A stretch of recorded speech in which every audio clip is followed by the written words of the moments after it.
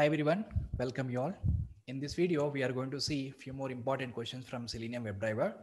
One is how to capture a screenshot of full page, how to capture a screenshot of a section or a portion of a page, how to capture a screenshot of element on the web page or specific element of the web page. So now we'll see how we can do this. So to do this, uh, to capture the screenshot of full page, we have a special interface called uh, takes a screenshot interface. So which contains a method called uh, get a screenshot as method. So by, by using that method, we can capture the full page screenshot. And after that, how to capture the section of the page, or if I want to capture the screenshot of a specific section of the page or specific element of the page. So how we can capture, we will see now practically. So first, let us start with the capturing the screenshot of full page. Now let's go to Eclipse and I'm creating a new class in my project. This is my new Maven project, which is created inside pom.xml. I already added two dependencies. So now let's create a new class and I'll name it as capture screenshots and take this main method and say finish. All right. So as a first step, uh, we need to set up the driver like Chrome browser setup. I need to launch our driver. So for that, I'm using WebDriver Manager. WebDriver Manager, import this WebDriver Manager from this package. And Chrome driver I'm setting up. And then WebDriver instance also I created here and import this Chrome driver class. Then, so after that, I'll try to launch my application. I say driver.get. And here I am trying to launch this application. Go back. And this is my application demo.nopcommerce.com. So this is the application which I'm going to launch and get this URL and specify in the double quotations. And as soon as you launch your application, try to maximize the page so that we will get the full, uh, full page screenshot. So whenever you want to capture the full page screenshot, it is better to maximize the page. I say driver dot manage dot window dot maximize. So this particular command will maximize your page. And then let us try to get the full page screenshot full page screenshot. So to get the full page screenshot, what we have to do is, so we have to uh, use one interface called takes a screenshot. Okay. So I say takes, there is an interface called takes screenshot. And for that, I'm just creating one variable equal to, I'll try to assign our driver to this variable. So our driver is a instance of WebDriver and TS is a, an instance of takes a screenshot. Takes a screenshot I'm importing from org openqa.selenium. So we cannot directly assign this driver variable to the takes a screenshot variable. Why? Because driver is a instance variable of WebDriver and TS is a instance variable of takes a screenshot interface. Both are different interfaces. WebDriver is a different interface. Takes, takes a screenshot is a different interface. So to capture the screenshot, we need to assign our driver to the takes screenshot. If I just look at the classes and interfaces which are provided by Selenium, then we can understand what exactly it is. So basically what I have to do is we need to typecast and then it is possible.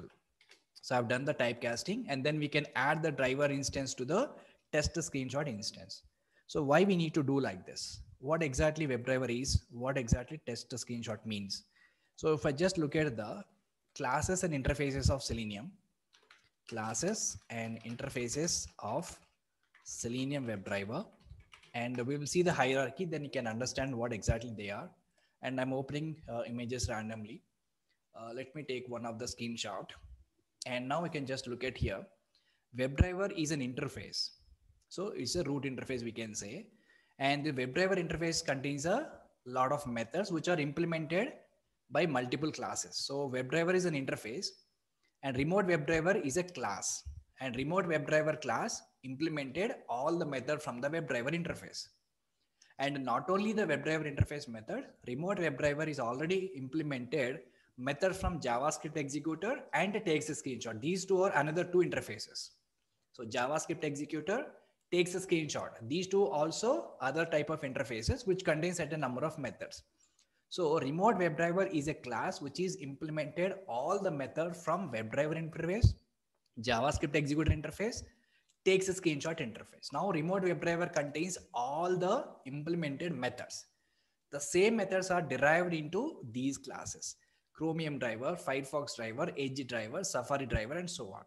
And Chrome driver is again extended from Chromium driver. So currently we are working on Chrome driver. So when I create a uh, reference variable here with the Chrome driver class, then we no need to typecast here.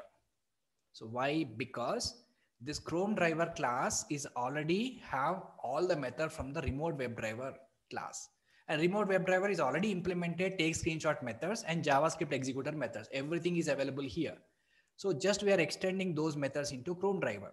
So when I create a variable of Chrome driver uh, class, that variable or instance can hold the variable of take screenshot or JavaScript executor or WebDriver.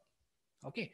So that is the reason when I create an instance of Chrome driver class directly, here we no need to typecast.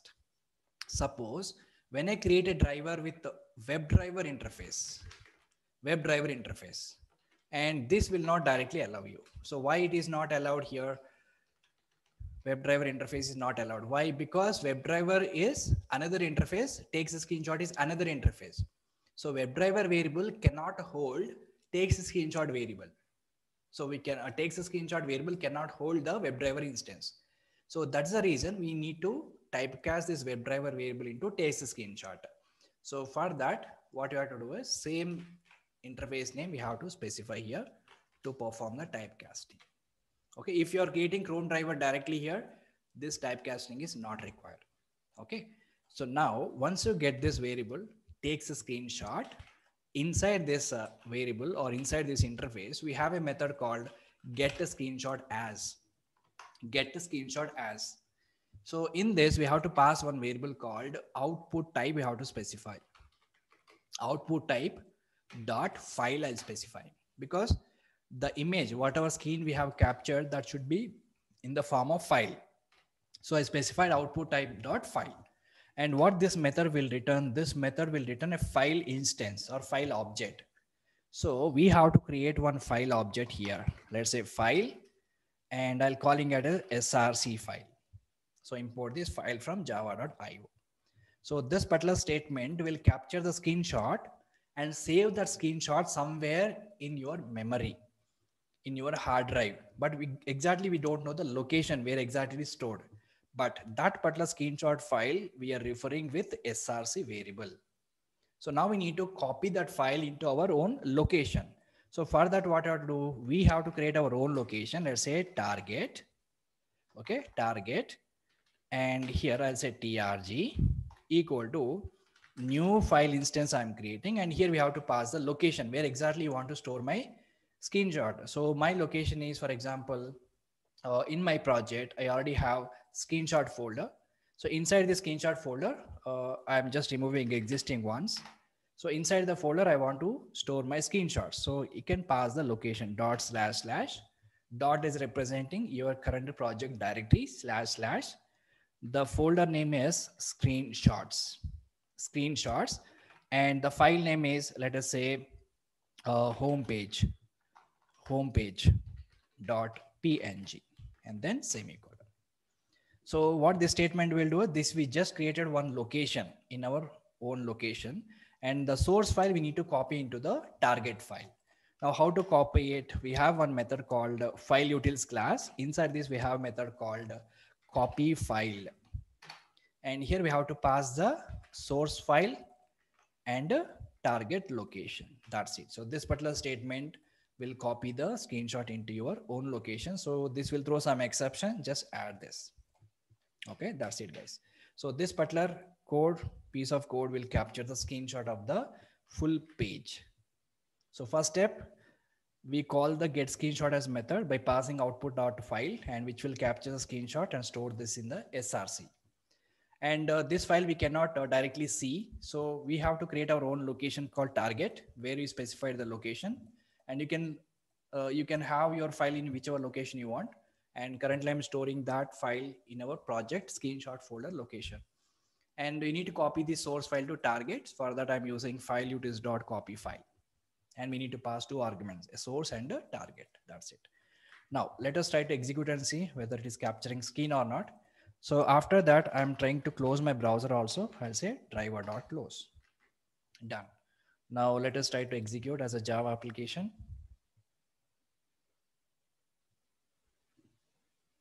My Chrome driver was started successfully and launching my application maximized and then closed.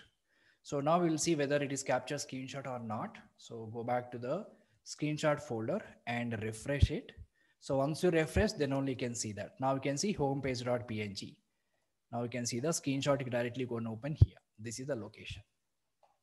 Okay, so this is how we can capture the full page screenshot. So now we'll see how to capture some portion of the page or specific section of the page. Capture the screenshot of specific portion or specific section of the page. Then how we can capture it. So for that, what you have to do is we have to call this get screenshot as method from the web element.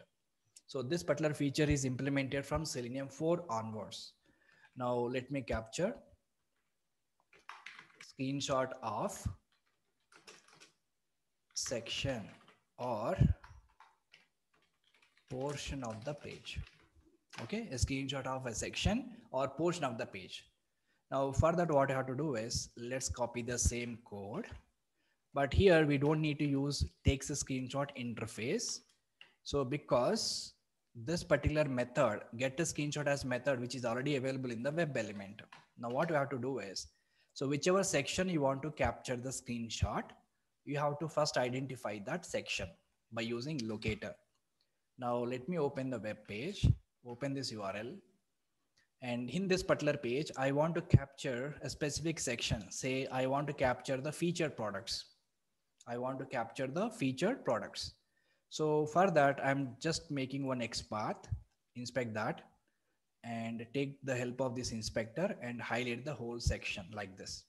So all the feature products. Now I'm highlighting this properly, all feature products. Now selector hub, it will generate one XPath for you. So use this XPath, which will actually pointing to the whole section of the web page. Now take this whole section as a web element. So here driver dot find element by dot xpath specify it and store that in some variable. As a call as a section. This is also web element because the whole section we are captured by as a web element. Now import this web element. So now once you capture the whole section as a web element now we need to capture the screenshot of this web element. Simply what you have to do is use this web element variable inside this web element class itself, get a screenshot as method is available. So section dot get a screenshot as output type dot file. It is exactly the same and which will return the screenshot of the page or section of the page. And then we created our target location and I'll try to change the name that is featured products and then copy the source file to target file. That's it. So previously we have taken help of take uh, screenshot interface help. But this time we have not taken the help of takes a screenshot. Instead, we are calling get a screenshot as method from the web element variable itself. Okay. Now this particular piece of code will capture the screenshot of specific portion or section of your page. Now let us try to execute and see run as Java application.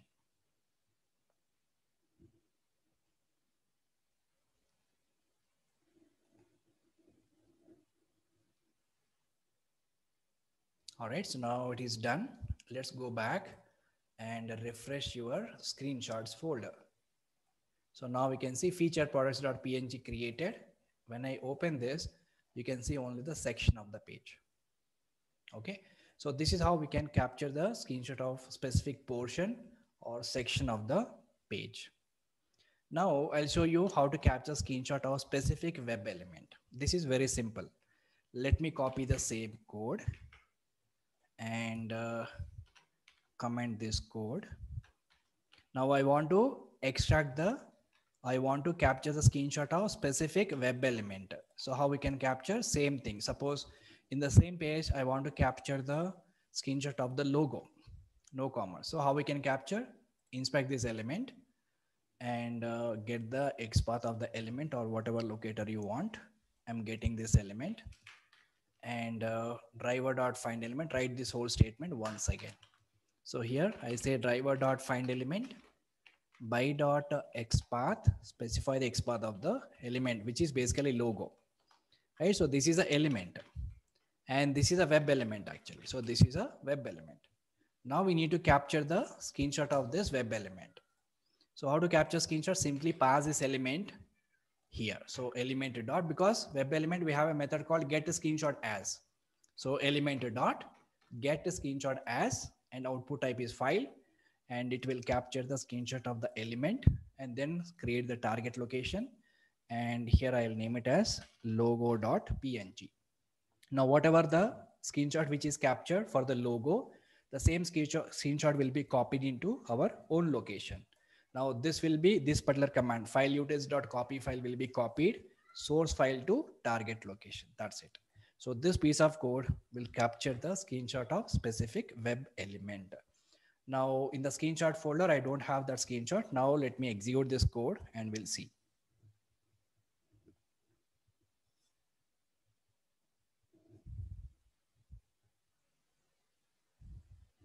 Now it is launched my application, then it is closed. Fine. So now let us refresh the screenshot. So now we can see logo.png. The screenshot is captured. Okay. So this is how we can capture the screenshot of full page. We can capture the screenshot of a portion or section of a page. And also we can capture the screenshot of specific web element on the web page. And uh, that's all for this video guys so basically these uh, screenshot will be used to reporting the bugs. Suppose if there is any failure happen in the application ui so immediately you can capture the screenshots and you can send them to the developer. Okay? So through automation this is how we can capture the screenshots. So that's all for this video guys. In the next video we will discuss a few more important questions. Thanks for watching